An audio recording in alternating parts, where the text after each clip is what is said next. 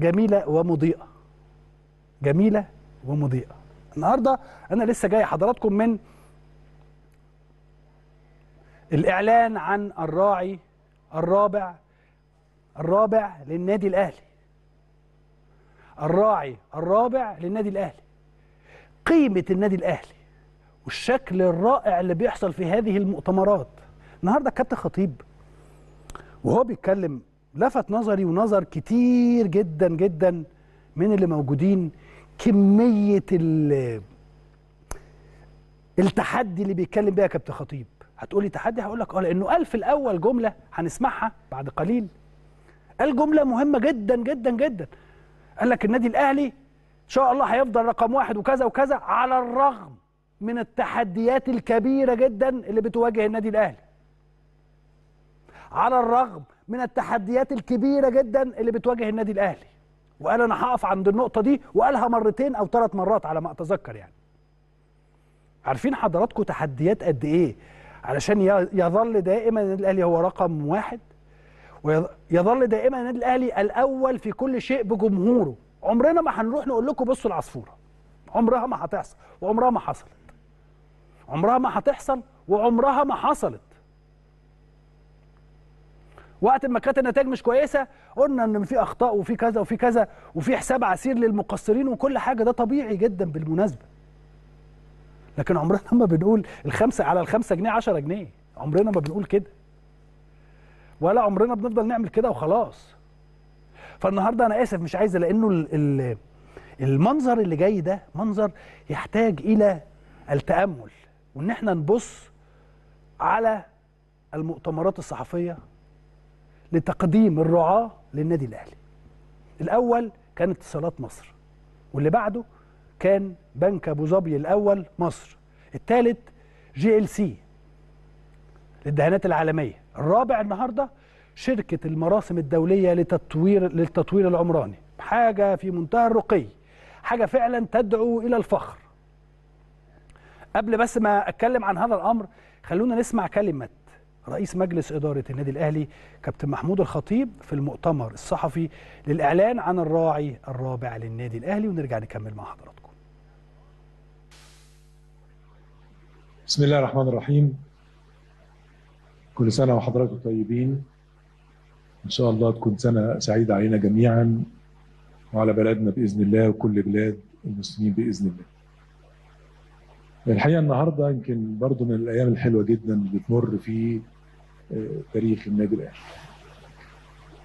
أنا النهاردة زي زي أي مشجع أهلاوي ببقى سعيد وفخور جدا بالنادي بتاعنا.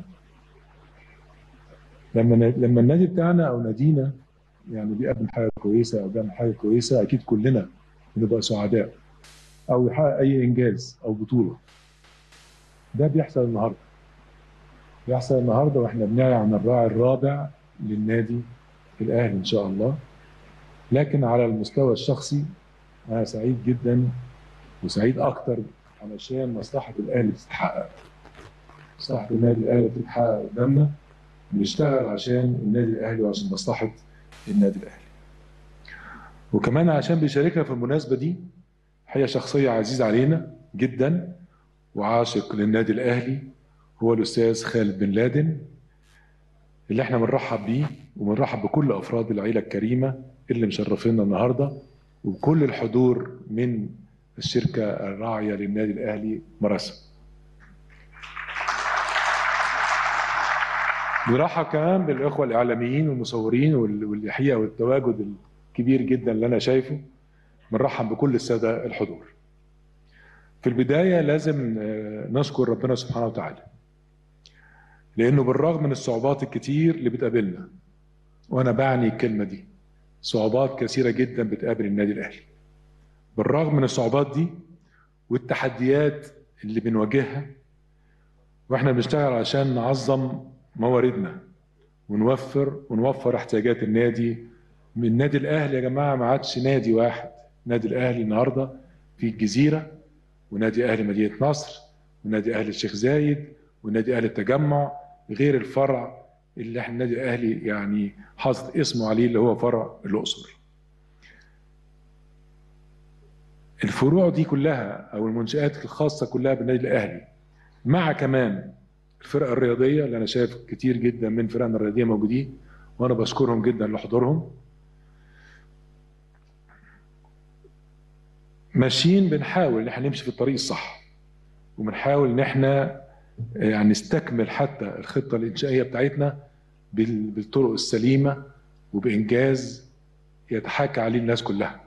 وأعتقد إن فروع النادي الأهلي والنادي يعني اللي إن شاء الله قريب جدا جدا هيتم افتتاحه اللي هو أهلي التجمع. أعتقد هو مفخرة لكل الأندية الرياضية اللي ممكن تكون موجودة في الشرق الأوسط. مفيش حاجة كده. مفيش حد مفيش نادي في الشرق الأوسط عنده المنشآت دي. مفيش نادي في الشرق الأوسط عنده الفروع دي النادي الأهلي عنده ده النادي الأهلي كبير جدا النادي الأهلي كبير بجماهيره اولا بتوفيق الله سبحانه وتعالى بجماهيره بأعضائه بكل الرياضيين اللي فيه بكل الأجيال وكل مجالس الإدارات اللي تواجبت على خدمة النادي الأهلي. النهارده إحنا يعني بنوصل للمرحله الرابعة في ملف الرعاية. وده واحد من الملفات الرئيسية بالنسبة لنا. بدأنا بشركة اتصالات مصر ثم بنك أبو ظبي الأول مصر وبعد كده جي إل سي والنهاردة بنعلن عن شركة مراسم اللي بإذن الله هتكون الراعي العقاري الرسمي للنادي الأهلي لمدة أربع سنوات قادمة إن شاء الله.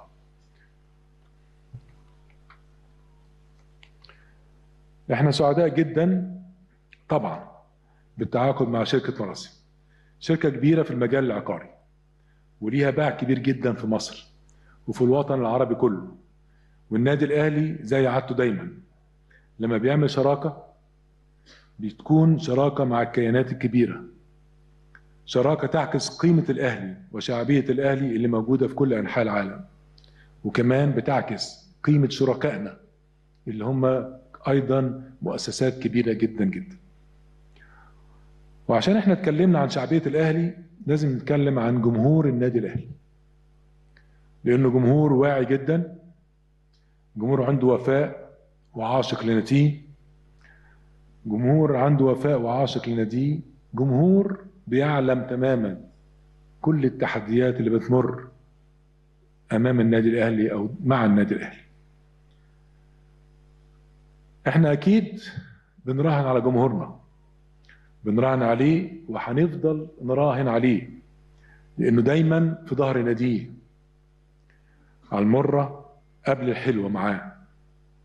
وزي ما بيقولوا وأكيد جمهور الأهلي زي ما بيساند النادي وفرق النادي أكيد برضو جمهور الأهلي هيبقى دور ليه دور كبير مع شركاء النادي الأهلي في الرعاية بتاعته. وهنا كمان مش عايز أنسى الحقيقة أو اشكر الشركة المتحده للتسويق الرياضي المسوق الحصري لحقوق الرعاية والإخوة القائمين عليها ومش عايز أنسى كمان أشكر كل المؤسسات الوطنية في الدولة اللي بتساند كل الكيانات الناجحة تحت قيادة السيد الرئيس عبد الفتاح السيسي رئيس الجمهورية. عايز أرجع تاني وأرحب بالأستاذ خالد بن لادن وأشكر شركة مراسم على تعاونها وحرصها على التعاقد مع النادي الأهلي وإن شاء الله تكون شراكة ناجحة بإذن الله وتحقق مصلحة كل الأطراف بإذن الله. أما بالنسبة بقى لينا إحنا والكلام ده لكل فرد في منظومة النادي الأهلي كل واحد ينتمي للنادي الأهلي موجود لازم يا جماعة نشتغل بجد ولازم اللي إحنا فيه النهارده دوت يحفزنا أكتر مش يهبطنا مش نكتفي يحفزنا أكتر كل واحد مسؤول وببدأ بيا أنا بنفسي وكل أعضاء مجلس إدارة. نشتغل للنادي الأهلي فقط. لكل لاعب يشتغل للنادي الأهلي فقط. لكل مسؤول في الإدارة التنفيذية يشتغل للنادي الأهلي فقط. إحنا كلنا الشغل ده بالشغل اللي إحنا عايزين نعمله وإن إحنا نكون مصرين إن إحنا عندنا إصرار كبير إحنا نعمل شغلنا صح. بإذن النادي النادي الأهلي يبقى رقم واحد. أعتقد إن ده يعني نضاعف مجهودنا لخدمة نادينا بإذن الله.